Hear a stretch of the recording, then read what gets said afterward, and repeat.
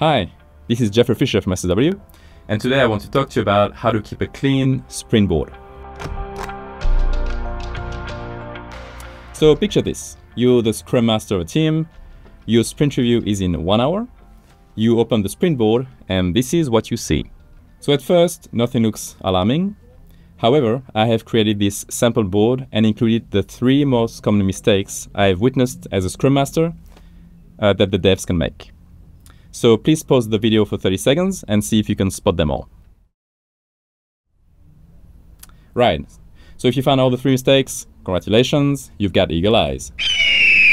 If you find more than three, please let me know and I will book an appointment with my optometrist. So let's go through them. Well, the first one, which is probably the most obvious, is looking at all the PBIs, I can tell they have an estimate, except for this one here. It says zero. So we actually have a rule about this, which is the do you know how to define a PBI? And if you scroll down this, it shows all the mandatory information a PBI should have, such as a title, description, and also an estimate. So please, when you create a PBI, make sure that you always give it an estimate.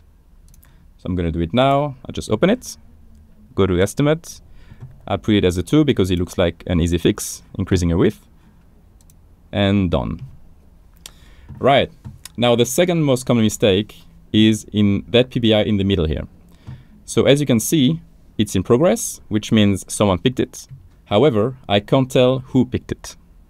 Like if I open it, there is no people assigned to it. So we also have a rule about this, which is, do you know the three steps to completing a PBI? And if you scroll down on this one, you'll see that one of the first things you should do when you choose a PBI, you need to assign yourself to it. This is very important. So please make sure that when you pick it, you assign it to yourself. Done. And now I can see my little face here. And finally, the third most common mistake I have seen is about the last one here, the done. So this one is a bit more tricky to see, but you can tell by this little emoji, which is green, that the PBI is still open.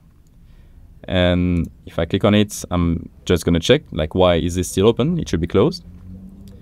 And by scroll, oops, here we go scrolling down, I can see that, oh, well, there is no closing comments and no one closed it. So this is an issue. And you also have a rule about this, which is the do you make sure sprint reviews are tick and flick?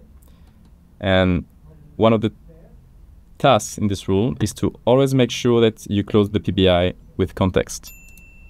So if I go back to it now, what I'll do is I'll include a closing comment. So I've prepared some text I'm going to paste.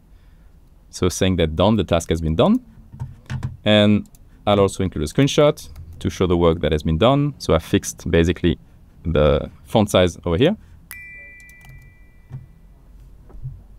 And this should be ready now. So I can just click on comment and I will see my comment with the screenshot. And now done. I can just close it. And here we go. Now this board looks much, much cleaner. So hopefully from now on, you will keep a clean sprint board and make your Scrum Master life way easier. So thank you everyone for watching this video. This was Jeoffrey Fischer from SSW. I hope you enjoyed it and I'll see you on the next one.